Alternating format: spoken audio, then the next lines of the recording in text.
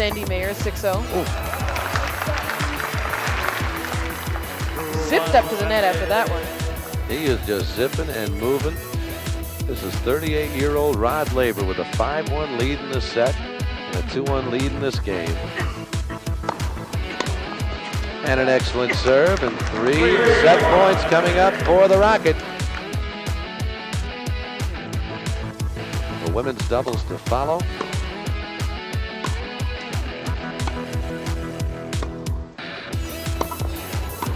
Laver to the net and a cross-court volley winner.